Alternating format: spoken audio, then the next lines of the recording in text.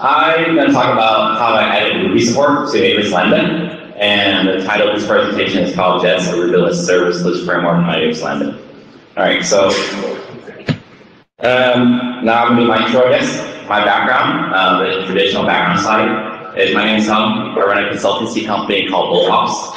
It's focused specifically on AWS and only AWS right now. Um, over the last couple of years, I've been very lucky to have written a couple of open source tools. So you see a bunch of logos up there. Uh, they're all actually AWS specific tools, and they are all actually um, focused in different areas of AWS. Um, for my work in the Docker ECS space, I was recently recognized as AWS Container Hero. Uh, so that's so that was cool. Uh, and tonight, though, we're going to talk about one icon in the cloud the Jets Blackberry called Jets, the Ruby Service Framework. Okay, so I wanted to start my presentation off with this. I thought this was hilarious. This is a website called serverless-ruby.org. It's a petition. Basically, there's a bunch of people, this guy started a petition in March 2018, begging for this language app Ruby support. That hasn't happened. so, uh, rumors are, there's a lot of rumors that AWS is actually working on support, and it's just a matter of time. So, hopefully, when they add it, that'd be fantastic. That'd be great. Um, but I just thought that this site was pretty hilarious. So you can actually run Ruby on AWS Lambda right now, or any language for that matter. And a lot of people have actually documented um, how to run Ruby on AWS Lambda. So this road that I'm going to talk about tonight is a well-traveled road. A lot of people have actually done this. Uh, that link up there is on the AWS Compute blog itself. That's Amazon's official blog. They've documented exactly how to do it in other languages, such as PHP and Go. That article is written in 2016, December, before Go support was officially added. Go does now run on AWS Lambda. Um, other guys, this one dude, wrote building Ruby Rock uh, bots on AWS Lambda. Um, another guy wrote Romda, and I guess he takes Traveling Ruby. A lot of people use Traveling Ruby to bundle Ruby, and they kind of add support to AWS Lambda that way. Um, and another person wrote how to run Ruby scripts on AWS Lambda with Ansible. So a lot of people have done this before, and the way they do it and they achieve it is something called a shim, typically a Node shim. So what's shim? So this is the trick. Um, you write uh, AWS Lambda functions in a language that's already natively supported, then you call out to another language. And then you take the results of, in this, in this case, Ruby. Then you take the results of Ruby and you shove it back up to natively supported language back to AWS Lambda. So that's actually how it's done with a shim. Uh, it's kind of like uh, a movie Inception. So I just found this random full screen image uh, online. Uh, it's kind of like a dream within a dream. So in this case, the language within language. And uh, the issue with uh, kind of accepting a dream in dream is once you kind of, let's see if this kind of clicks. Once you get into one dream, right, the first dream is slower. so it's of like the problem with are two sales, right? It's slow. There's some overhead associated with take one language, call it to another language, and shove it back to another language, right? Um, and the reason it's slow is because of something in AWS Lambda called AWS cold starts. So this is a really well-known issue with AWS cold start. So that's supposed to be an image of car governance node, and the engine next to show like a code engine to help me explain this. So, and uh, AWS Lambda cold starts, what are they? So um, when you call a AWS Lambda function, essentially what happens is a container spins up your code is executed and to results, then it's back back out to AWS Lambda. Well, there's some overhead in the very first time calling container because it never existed before. All right, so that overhead is known as the cold start. And the really interesting thing about AWS Lambda cold start is it varies depending on how you configure the function. So, for example, let's say with the end, um, AWS Lambda function, you trigger anywhere from 120 megabytes of RAM to 3 gigabytes of RAM.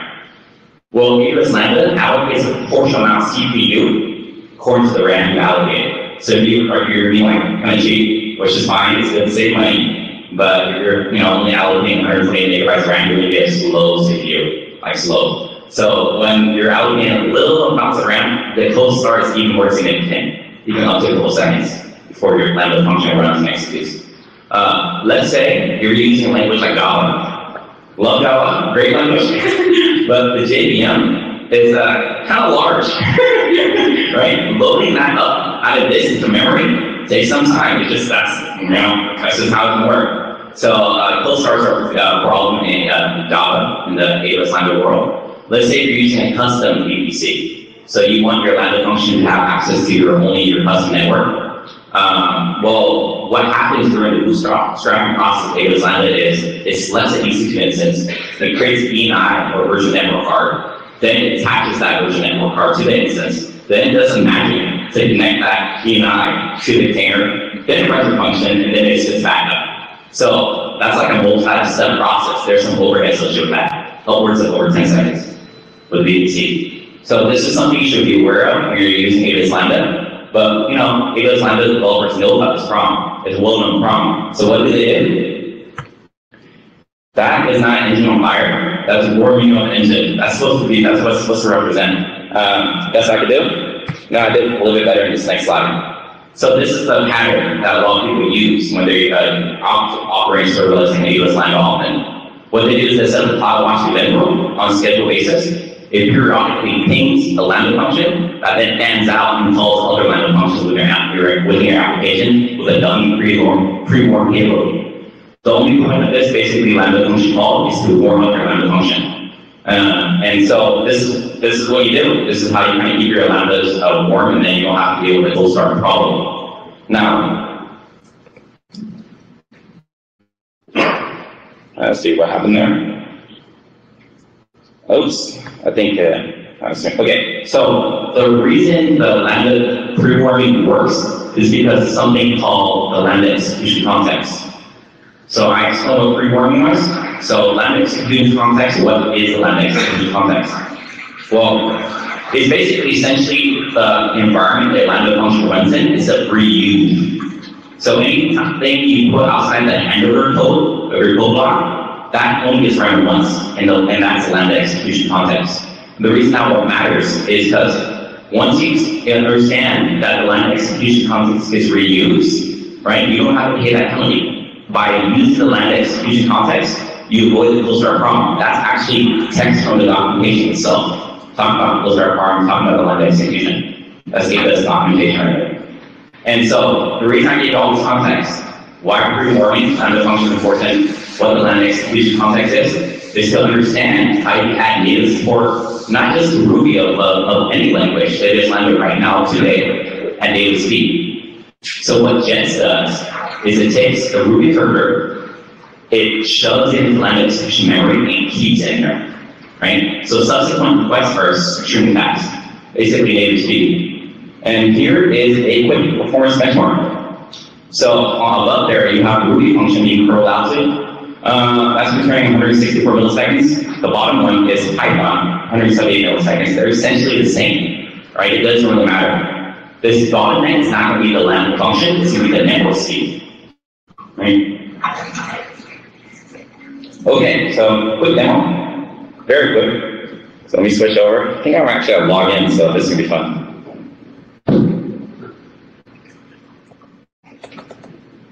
Oh, sweet, I'm in already.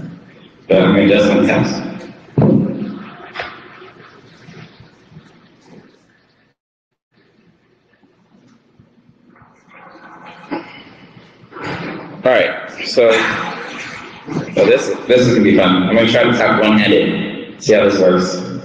Okay, so this is a curl request of a, Jet application already deployed that's hitting a Ruby function. You can see it's returning about 200 milliseconds. And here is another curl endpoint that I'm hitting right now that happens to have Python. That's the start of it. Okay, Python's actually being pre-warmed. But you can see that essentially it's the same speed. So I just want to show you that live real time. Okay, so back to this slide deck. Hmm. So we did the first demo. So before moving on, I wanted to go why again. Why, why, why? What's the point of you doing this, right? If you're going to be working all AWS Lambda, you're going to eventually be working with something called CloudFormation. CloudFormation is infrastructure as code. It's the way basically write your Lambda functions up in YML, right? But this kind of reminds me of uh, the 1990s when, uh, when Java was moving a lot of their kind of um, logic from Java code, which is fine, to XML. And it was always like debugging XML, you just have to change that slight little thing, then it will start working, right? Because you're moving, you're not actually writing code, you're writing YML or you're writing XML, right? So that function up there doesn't actually look that half. It's like 15 lines of code. It's pretty understandable. But you have an application with 20 lambda functions, okay? And then you need it to test memory size. You got copy and paste 20 times run, right? So uh, on the other side there, you just basically have Ruby, which is being used as glue code to generate basically that exact same yarn. But now you have access to the power of programming language, which is going to make the code way more maintainable, way more real. Okay, so this is a typical architecture that's serverless. There are no servers here. Um, this can be built with JETS um, and or other frameworks great for that matter. What we have is you have a user request coming in, it's hitting API gateway, that's a RESTful API. Those uh, endpoints then call Lambda functions and they can return. So we're going to actually do a demo of building this entire thing during this uh, presentation. So I'm going to actually show you, I think, yeah, I'm going to show you some code first. so we talked about like AWS Lambda now, reforming the Lambda execution context. Hopefully that was helpful. Um, but actually, I'm going to show you code here, like AWS Lambda code. So AWS Lambda code, usually all you do is define a method and and then you get you take in a event context, and node plan looks the same, and also Python looks the same. This is written over form. This is what it would look like if Lambda was supporting, right? But the funny thing is, there's actually not a lot of value with this besides adding Ruby support. There's not a lot that's doing there, right? So JETS code actually looks more like this, right? This is inspired from Rails. That's a controller code, inherited from the application controller, right? And if you're creating a post controller, there's two actions there. There's init action, there's show action. So there are two Ruby methods there. You have access to render helper. That render helper render JSON, render HTML through action. You also have access to parameters. You have access to the raw lambda event itself, the raw payload. All right. Um, but even though that looks like there's of Rails programmers here, even though that looks like Rails code, that is not. That actually generates lambda functions for each public method out there. So what JETS does is basically it evaluates the code and it generates lambda functions that correspond to those methods that are public methods. So those are the current corresponding other functions over there. They're the corresponding um, um, Ruby code. JETS also supports routes. Once again, looks like Rails routes, right? You draw the routes and you say, connect this URL to this lambda function or this controller action, right? And what that actually does is it generates API gateway resources. So those lines of code right there will generate all those API data resources for you.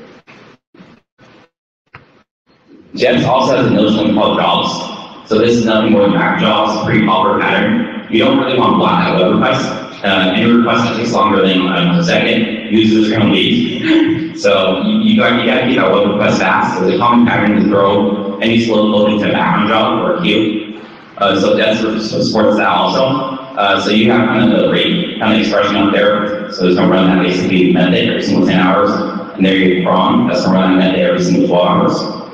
But once again, that creates AWS resources. That's creating CloudWatch event pool. So uh, AWS has something called CloudWatch events, and there's actually something called schedule events. So you don't have access to a scheduler. You don't have to run a separate schedulers here. You don't have to run a separate here because that's running serverless. The scheduler here is also serverless. Okay, so this is what a typical test project structure kind of looks like. Here the app controllers, the helpers, the jobs, the models, the views, the typical MVC. The JavaScript loader is using Webpack as a Rails 5 is currently using right now to uh, package up uh, JavaScript and uh, CSS. There's a big folder, there's a big folder for database YML and other application-wide settings. DB folder for migrations, both DynamoDB as well as uh, basic active record Postgres supporting. The public folder for serving public assets and the spec folder for tests. Okay, down number two. You guys get two. Yeah, I think I'm fine. Uh, and you guys can hear me too, right? So I don't have to, have to pick up the mic. Okay, good. All right. So uh, CD, let just let me make sure I'm on master because I was messing around with this uh, in the hotel. So JETS new demo. Okay. So uh, for this, what I'm to do, okay, actually, I actually talk over here. Okay. So the first command is JETS new demo, right? So what that does is that creates a, uh, basically a skeleton app with all the folders that you kind of need, app controllers, views, config, public, all that, right? And then immediately it does a, a, bundle, a bundle of stuff. So it installs application dependencies. Then it installs Webpacker. Oh, I guess the command finished. So then it installs Webpacker. So that's what doing Webpacker is a lot of help with, I'm just going to skip right through it. And then then it does get initialized and then it does your first command. All right, just from one command, and then it gives you a congratulatory message saying, okay, this is what you need to do next. Okay, so we're going to do what it tells us, I guess. Okay, so going to see into demo now. I'm actually typing go hand because I use copy and paste here, that makes it easy. Then we run scaffold. That's kind of familiar, isn't it? So that uh, created a post uh, model with a, a, title column with a migration to. I don't migrate because I've actually migrated this database locally already. Now I'm going to start up a local server. So I'm going to bind this local server to 0000 because this is actually server running on EC2 under another service called Cloud9, which is, know, this is a browser, right? I'm using a browser right now as my editor. It's, a, it's a basically a remote editor. Okay, so let's actually go check this out and see what happened uh, once I figure out my Chrome numbers here. Okay, so I already set this up. Hmm. Live demo. So I'm going to take this. So I started a server locally, and uh, by default it runs port 8088, and that's a slash page. So that's just how I'm running right. And, remember, I created scaffold with post, right? So let's check out post. Oops, uh, period slash. Okay, so here's post. Loading, eventually. Okay, uh, there we go. So you got some records ready. I already have the database. Let's create one more record just to show you, so you like the basic front is working from the back with that scaffold command. So post five submit.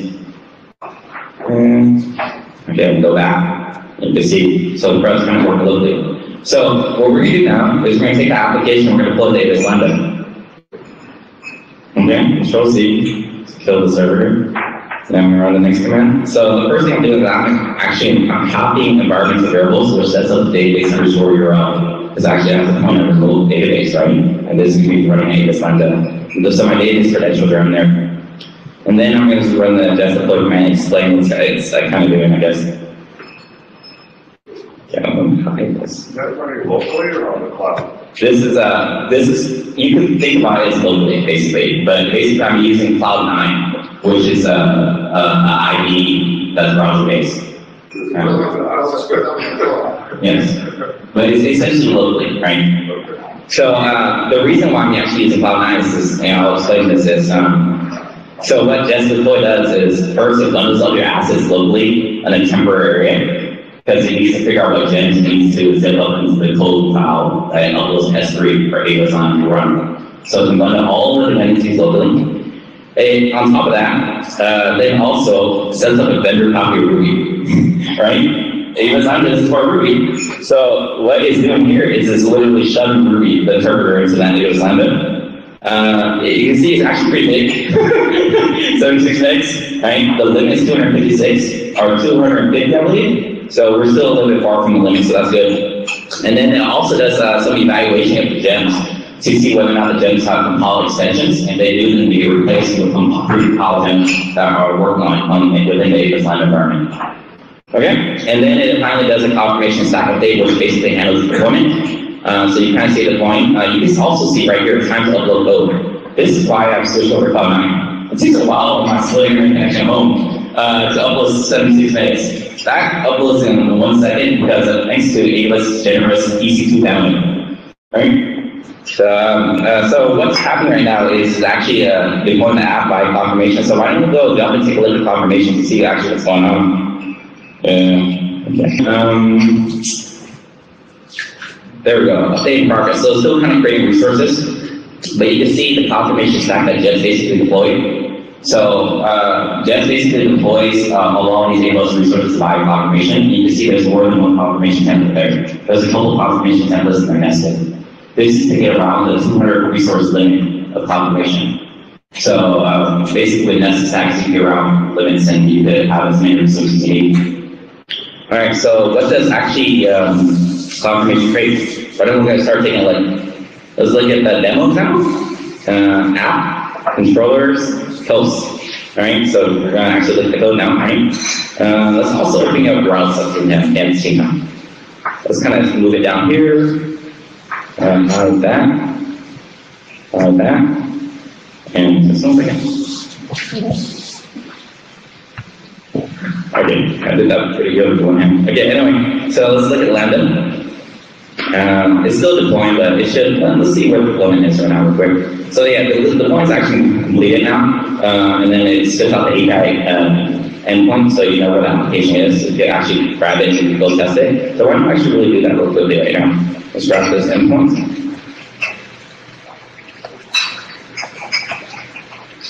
Okay, and there's the Jets app running this, is this time on AWS Lambda remotely. Okay, so let's go to scaffolding, host.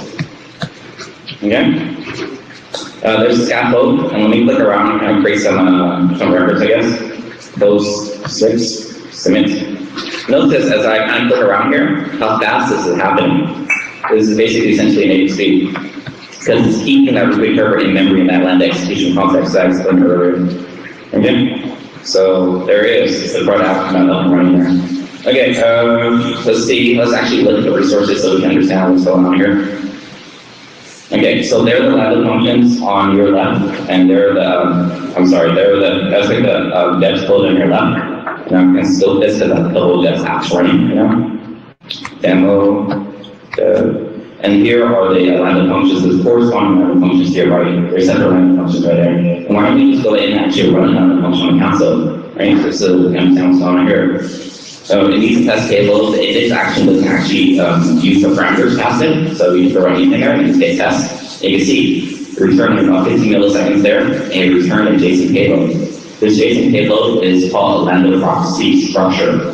This is kind of the structure that API Gateway expects from a lambda function or to parse out and then serve a HTML page. They expect a status field, a headers, and a body. Okay? So that's the uh, lambda functions. Um, let's see what else we should check out. API gateway. And the route style down there, right? So that one resources uh, line extends out to the seven product um, resources, right? Create, read, update, uh, delete, and then here it is. Here's demo dev. And those are very corresponding to what the resources right there. Okay. So let's see. I think I'm gonna go back to slide deck. Okay, so uh, two demos that's done. And I just want to review what we just created, right? We created a completely serverless architecture on AWS Lambda with a couple lines of code with a couple of commands.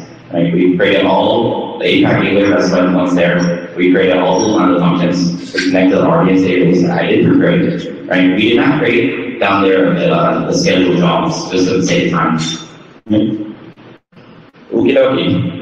Um, so I want to Jet's core resource model. I'll talk little about this. So the token is a hard job, it's a background job, it has a rate um, method that tells it run this lambda function every single 10 hours, right? I just want to emphasize that that one line of code expands out to a resource method and call that resource method. And that resource method then associates a CloudWatch event rule with a lambda function right there. Okay? So the reason why I'm pointing out is this is a core model within Jets. Every single kind of convenience method like rate or farm leads the resource method.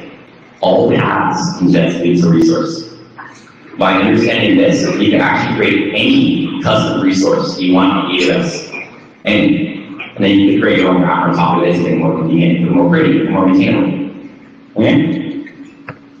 Okay, so we covered the API RESTful kind of architecture, but I've actually been building uh, with Jets uh, different architectures out there too. So this is event-driven security with auto remediation. So in this kind of, diagram, what we have is a CloudWatch event rule pattern over there, and it's basically modern CloudTrail for anytime somebody authorizes or opens up support from a security group setting, revokes the security group, creates a security group, or at least deletes security, a security group, and then what happens is, is watching that, and it will then fire off a lambda function, and that lambda function will be like, why do you open a port 22 to the world?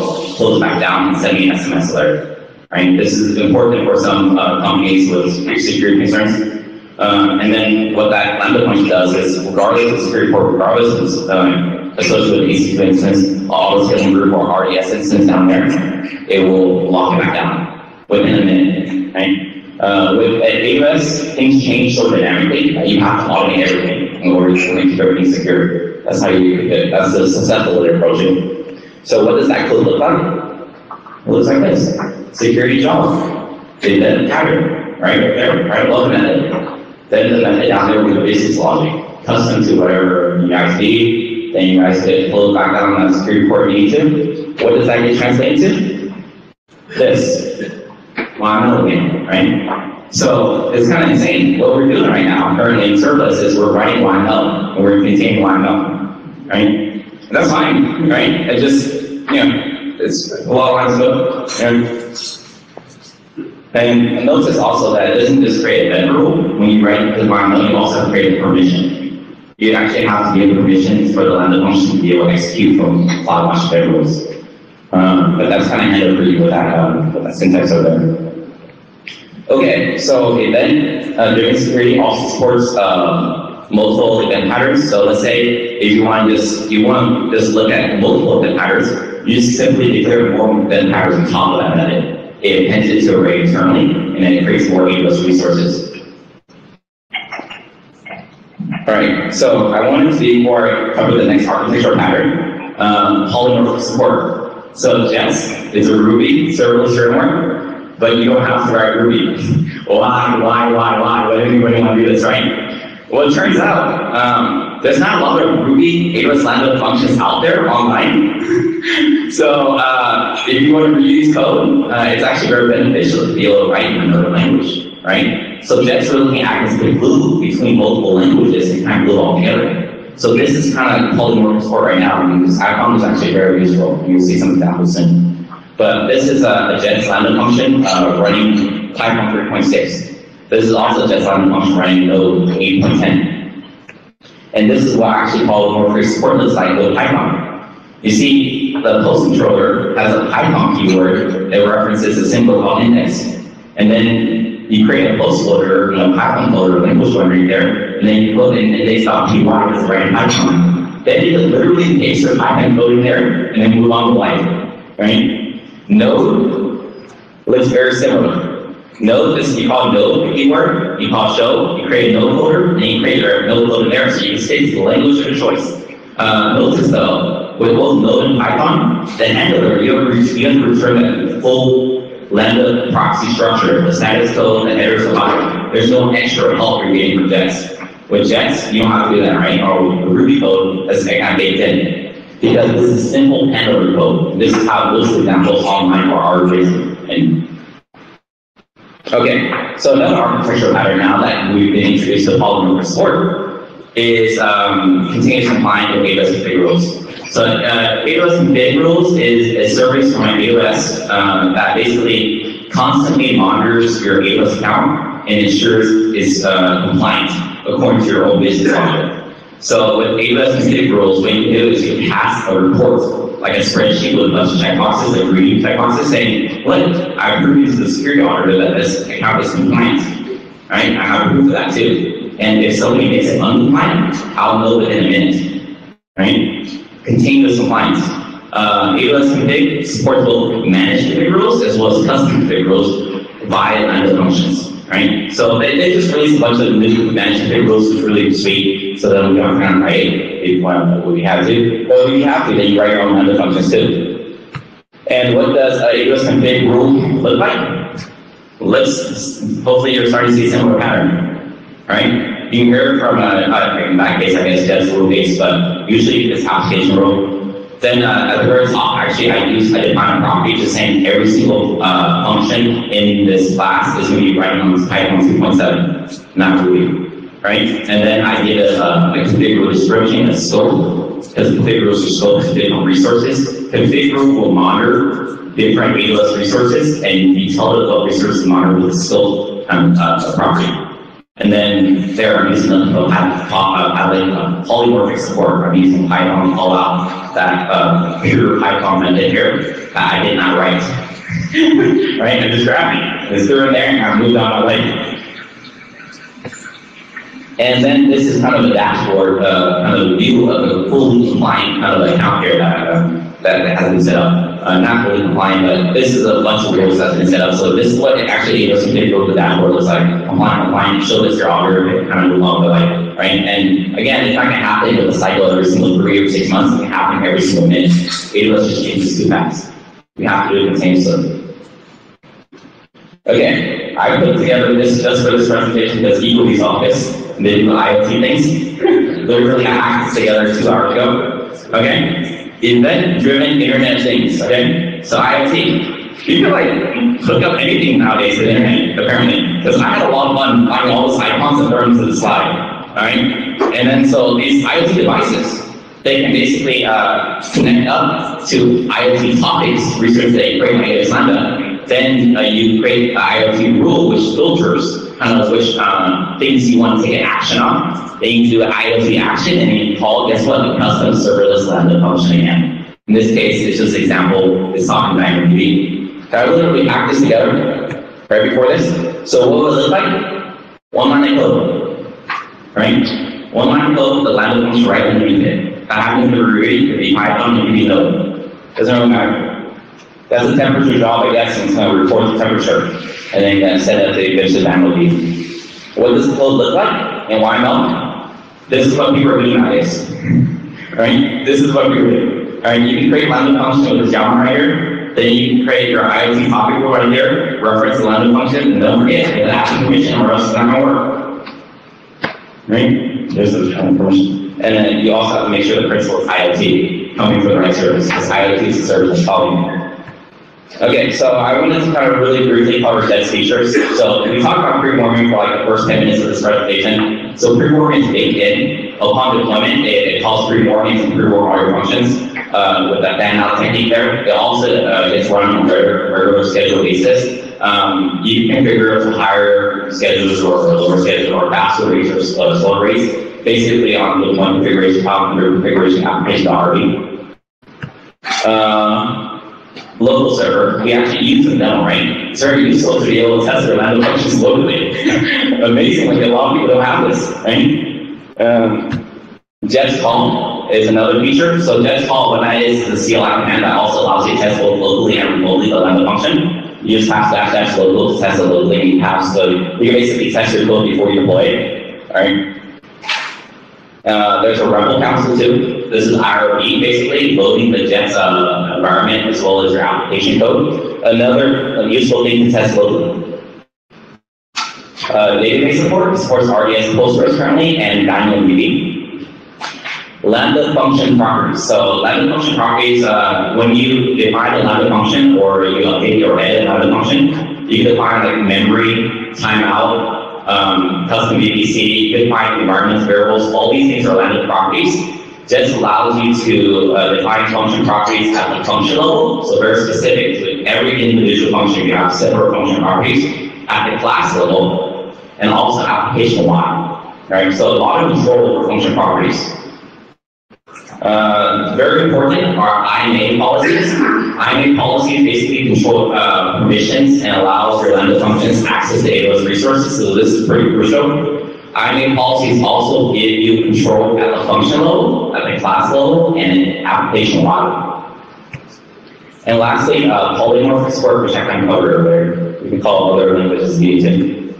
Uh, here are some working examples. I had a bunch more, but I just didn't get it in time for this presentation. But I'll eventually post them, and so there's a bunch more examples. Um, and uh, for guys who are taking pictures, uh, there's a link to the slide down here, so you guys have it. Um, and Q&A at the end here.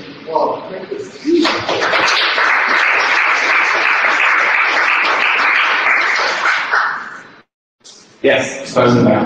Uh, I still, uh, you know, the runtime part is still Node.js, right? But how did you stick the Ruby in?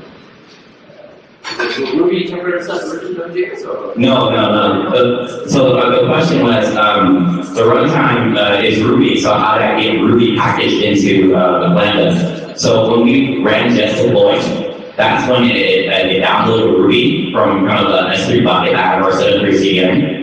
And that's a pre-compiled version of Ruby running on the, uh, pre-compiled on an EC2 instance that was uh, running uh, Lambda AMI. So I used the official Lambda AMI, pre-compiled Ruby map, then now we the binary, right? As long as that Ruby is a right architecture, it's gonna run, right? And this is really interesting because other languages have this problem too. Let's say you're using Node, which is officially supported, but you're installing Node and you're installing npm package.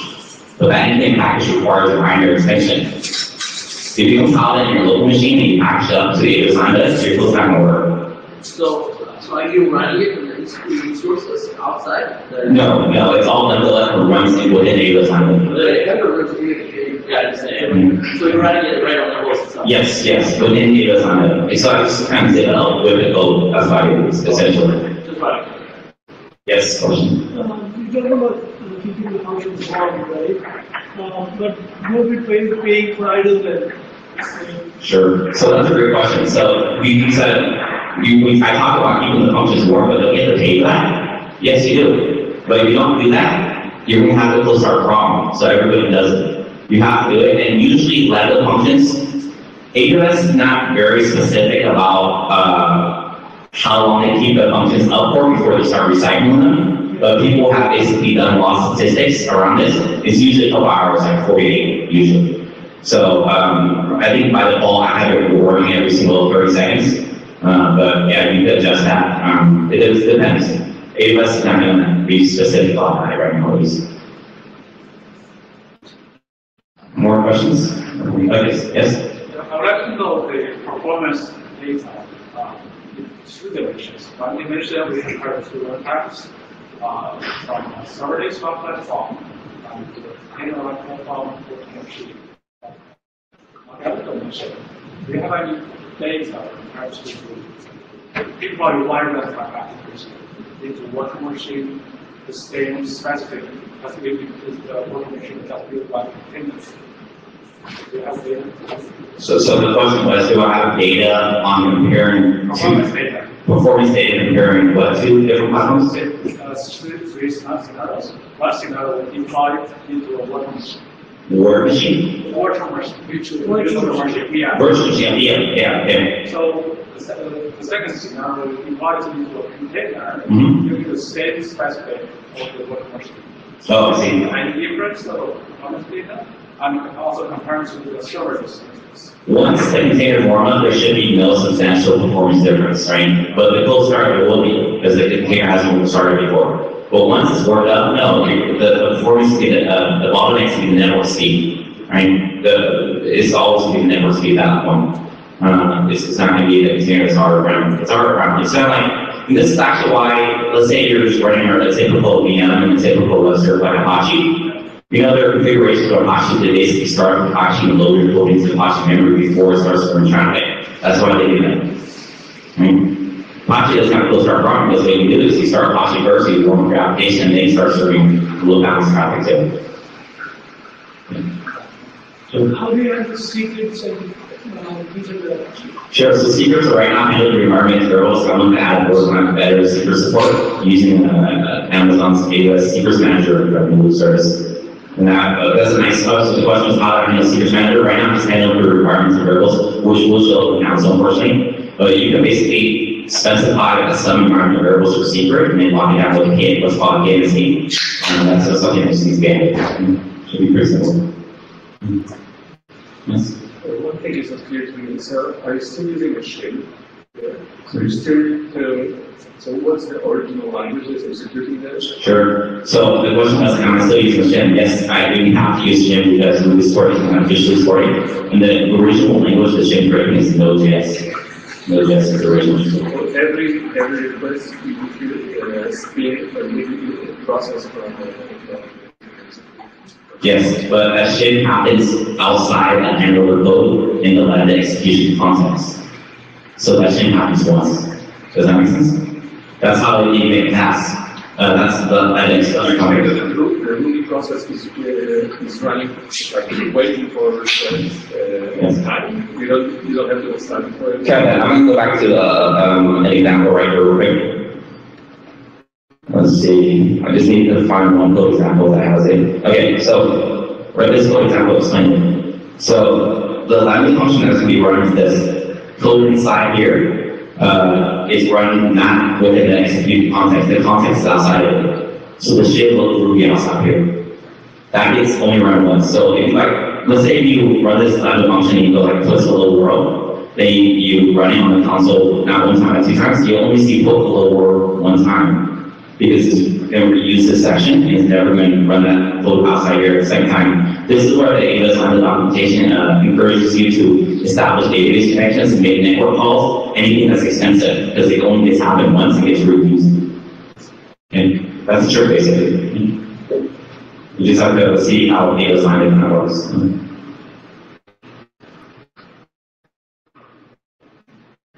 Any additional questions? We're good? Don't be intimidated by these complications. You'll ask any question. Yeah, sure. Have you ever had a problem with uh, concurrency? So if if you're, if you have people start doing a whole bunch of stuff in parallel, now you're gonna have another one start because the one that's having warning is Yeah, uh, so the, question was, how I, we're gonna have concurrency if a lot of requests come in and then your post our issues. Yes, of course, uh, so that's when you have to adjust for three more percent higher, right? So you of monitor that. So even though it's serverless, right, you, still have to kind of deal with the post problem with any language. And I would want to do something around kind of auto kind of reporting, that be kind of neat. Then you don't want to need to deal with that, right? You can use kind of the historical information to figure out when, how often, that would be really fun. And I'm happy to take your request too.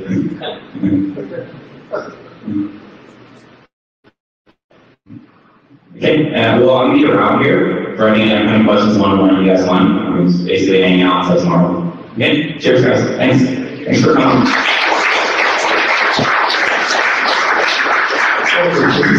Presentation meeting as today, and monitor is Java, and you can any other it's Java, you have such problem with that. Doesn't talk about some other things, keep bringing them in the shoulder, so to me.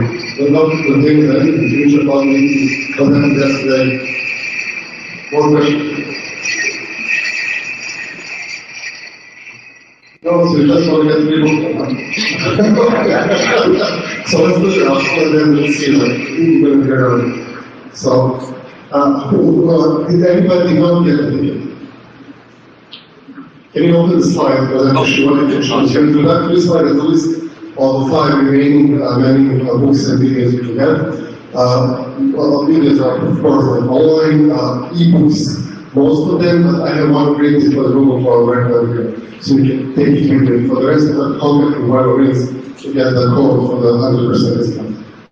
So, so it's somewhere close to good.